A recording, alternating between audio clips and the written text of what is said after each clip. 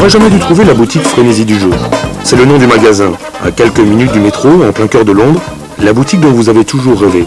Tous les jeux pour tous les formats, au meilleur prix. No Pasaran, c'est un roman. Tout a commencé lors d'un voyage linguistique à Londres. Pour les trois héros de l'histoire, Eric, Thierry, entraîné par Andreas, le dur de la classe, ce séjour était une aubaine. Moi, je suis enquêteur et j'ai voulu comprendre le pourquoi de cette histoire. L'auteur, Christian Lehmann, nous aidera à progresser, bien sûr. Et puis surtout, il y a les fragments du texte du roman qui vont éclairer l'enquête. Mais qu'est-ce qui s'est réellement passé ce jour-là à Londres?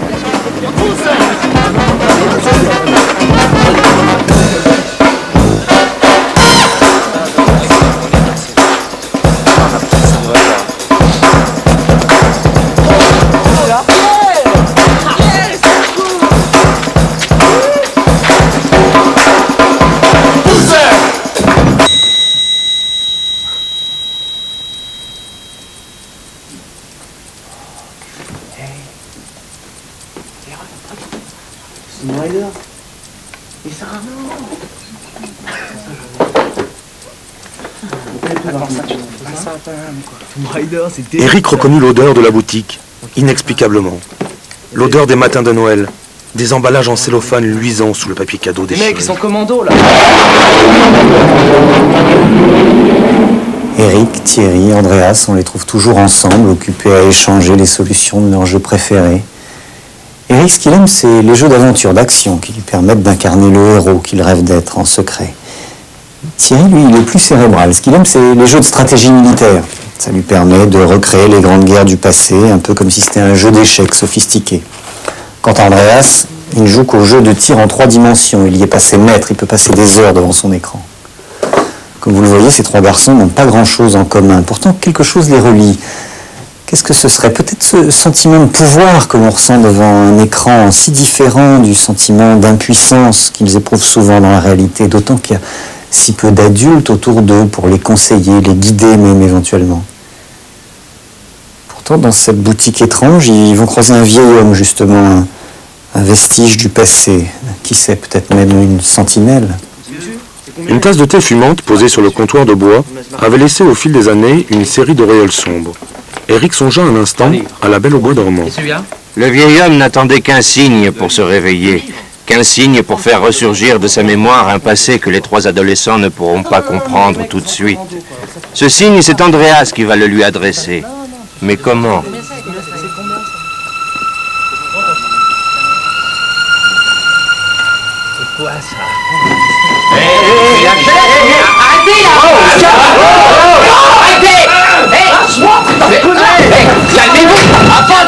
Non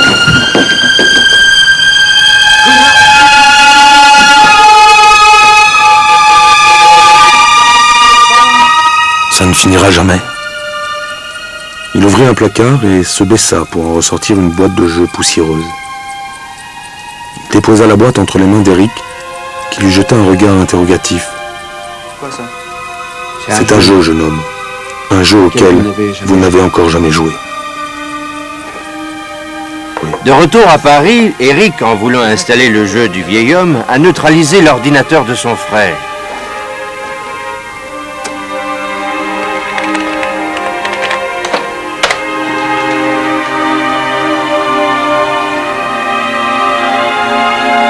C'est dans la chambre de Thierry, l'informaticien de la bande, que les vérifications sont faites. Et apparemment, il n'y a pas de virus. Mais est-ce que le jeu ne serait pas lui-même le virus?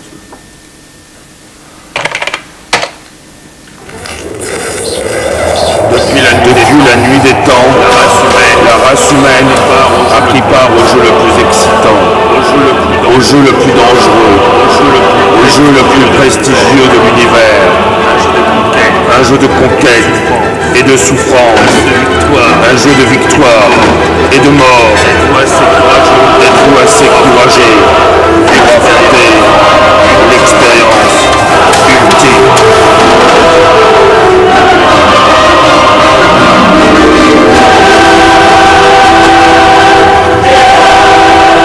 De jeu hein, qui fait tenir sur une seule disquette, des graphismes sophistiqués, des modes de jeu multiples, Mais évidemment, Eric, Thierry et Andreas n'auront pas avoir beaucoup de temps à consacrer à cette énigme.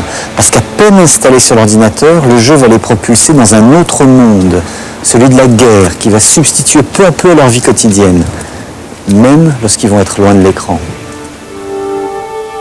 Vous écrivez soit l'équation. En classe, tout allait bien. Et puis il y avait Elena, une jeune Yougoslave que son père avait envoyée en France pour lui éviter la guerre. Avec Eric, ils avaient un point commun. Gilles, le frère d'Eric, était casque bleu à Sarajevo. Ici, la vie était paisible. Mais tout a basculé en quelques secondes. Alors pourquoi? Et par la faute de qui?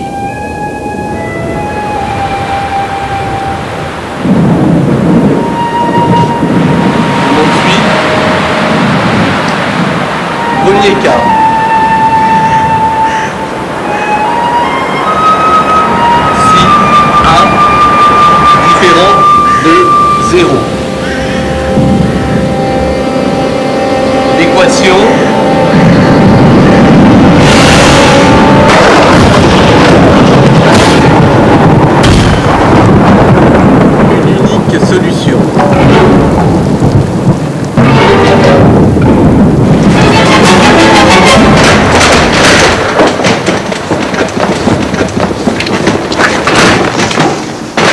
Le jeu, c'était les premiers mots qu'il avait prononcés depuis son malaise.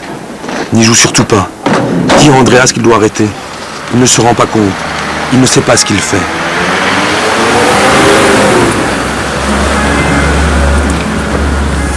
Thierry n'a pas fait une crise d'épilepsie comme vont le croire un moment les internes du service des urgences. Ce qui lui arrive est plus troublant. Pour la première fois de sa vie, il vient d'entrevoir la vérité. Ces guerres, qu'il a pris tant de plaisir intellectuel à reconstituer dans le confort douillet de sa chambre, ces guerres ont existé, ont tué des milliers d'hommes, pour des raisons qui nous sont aujourd'hui presque oubliées. La Première Guerre mondiale, pour beaucoup d'entre nous, c'est juste un chapitre dans les livres d'histoire, un monument oublié sur une place de village. Qui se souvient que des hommes, nos arrière-grands-pères, dévorés par le froid, la famine, la soif, se dressèrent dans la boue des tranchées pour refuser d'être massacrés par leurs généraux? Qui se souvient qu'on les fusilla, pour l'exemple? Thierry vient d'en faire la cuisante expérience.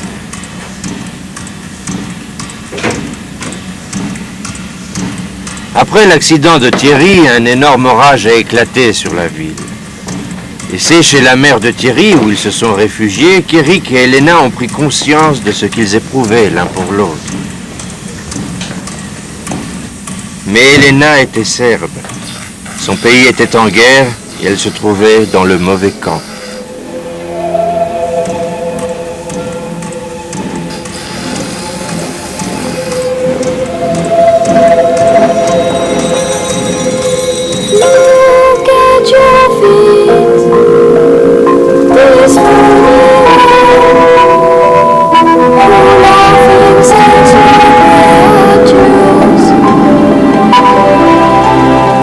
Première fois qu'elle s'intéressait aux parties de chasse de son père, qu'elle s'était toujours plus à brocarder sur ce sujet.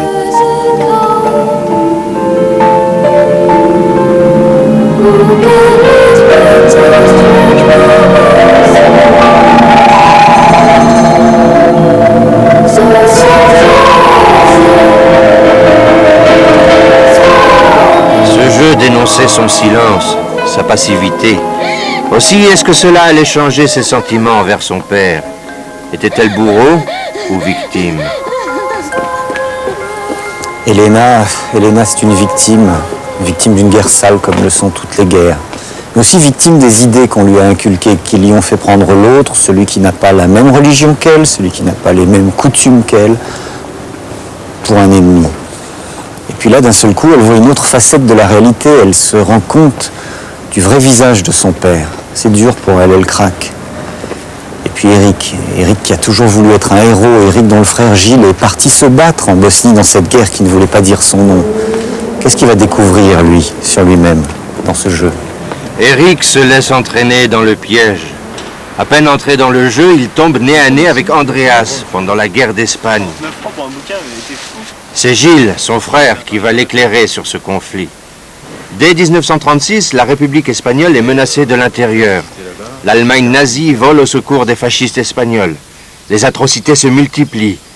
Le cri de ralliement des républicains espagnols était No pasarán, les fascistes ne passeront pas. En Espagne, les nazis ont envoyé la Légion Condor, identifiée par un insigne. Un insigne semblable à celui d'Andreas. Eric réalisa soudain qu'il s'était écoulé moins d'une semaine depuis qu'ils avaient pénétré dans la boutique. Il fallait absolument revenir en arrière, avant cette histoire, quand tout était simple. Pourquoi leur a-t-il donné cette disquette? Peut-être pour la même raison qui m'a poussé à écrire cette histoire. Pour vous amener à vous déterminer comme vont devoir le faire Thierry, Eric, Andreas. Dans un monde en guerre, choisiriez-vous de vous mettre du côté des victimes ou de vous ranger du côté des bourreaux?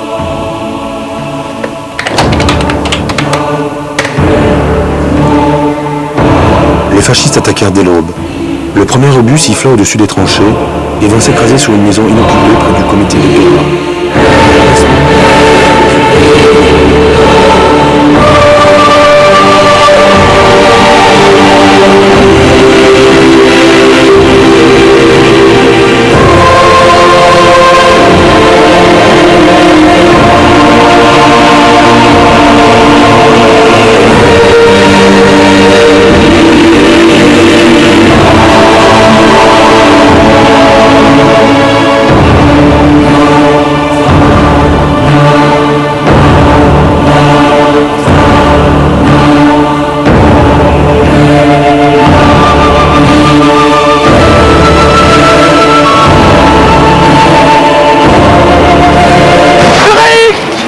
Le duel entre Eric et Andreas devenait implacable, mais le jeu devait continuer jusqu'au bout.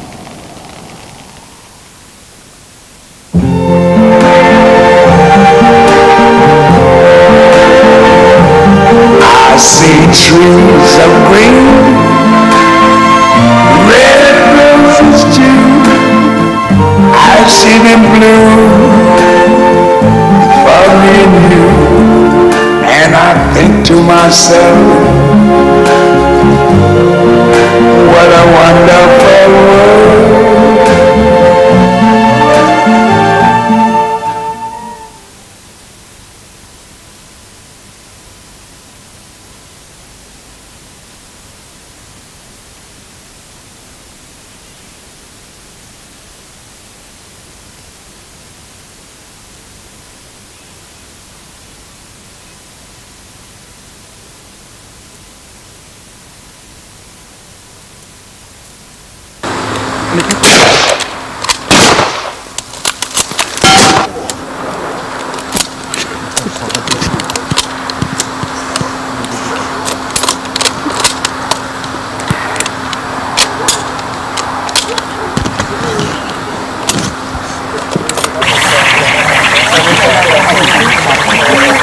Action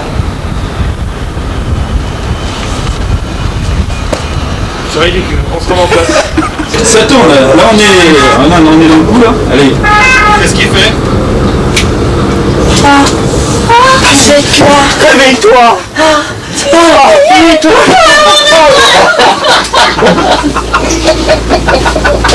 Il doit pas bouger normalement Annonce. Annonce. Ils sont seuls, euh, ça. Ça- Qu'est-ce que, tu- qu'est-ce que dis? Sont seuls, ça. Sont, sont sales, seuls.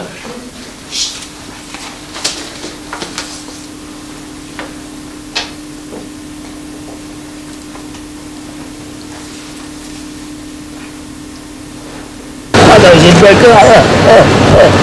Non, ça y est, on regarde. Oui, j'ai un regard caméra, oui. Excuse-moi, on y retourne. 5-22. Faut, faut que je m'entraîne un peu à avoir de regard caméra. Prête Ouais, non, euh, non, non, sans détourner les gus, il faut à tout prix. Non, je reprends parce que j'ai bien gros mot. Hein, mais. Action.